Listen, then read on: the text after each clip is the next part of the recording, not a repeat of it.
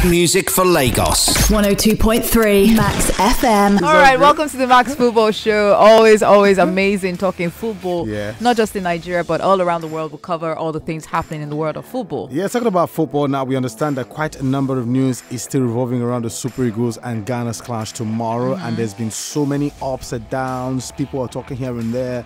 Some are saying they don't like the fact that Nigeria is so confident that they're going to beat Ghana. Mm-hmm. They should they should actually respect their opponents too. I mean, Ghana is not just a walkover. The fact that they had a bad game at the AFCON is not necessarily uh, that opportunity for you to think that. Uh, we shouldn't underrate, underrate the Ghanaians, them. basically, But the Black others, Stars. Others are saying, come on, it's confidence you need to go and Mm-hmm. win a game at the end of the day because when you sit back, when you respect your opponents too much, they could punish you. Yeah. And if you're going with that zeal, you should go all out because, the, the in fact, somebody said the quality of the players in the Eagles camp right now, they have no excuse Not to qualify. beat Ghana. Yeah, I mean, Now- everybody wants to go to the World Cup. I mean, it's the ultimate when it comes to serving your country. Hmm. So I believe that the Super Eagles will go all out. Okay. If they don't go to the World Cup, it's another four years, and Yeah. nobody wants to miss out on that.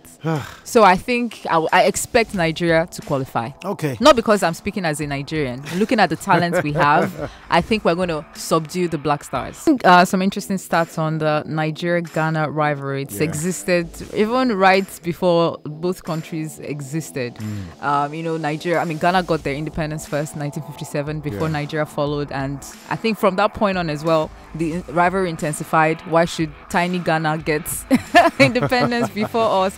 But in terms of the football action, Ghana has the edge. Yeah. Uh, Ghana has uh, four, uh, you know, African Cup of Nations trophies. We have Mm. three.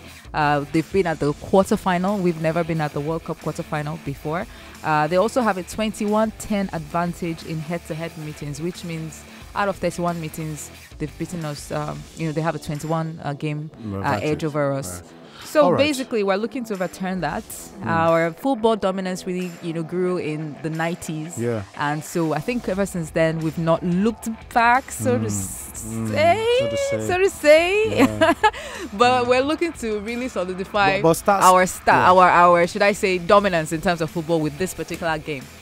Stars don't matter, Mm-hmm. especially when it comes to football these days. No matter the stats you have, uh, trust me, uh, things could go south at the end of the day. Mm. And Zero so that strategy. Sorry, you spoke about that strategy to delay the team list. Yeah.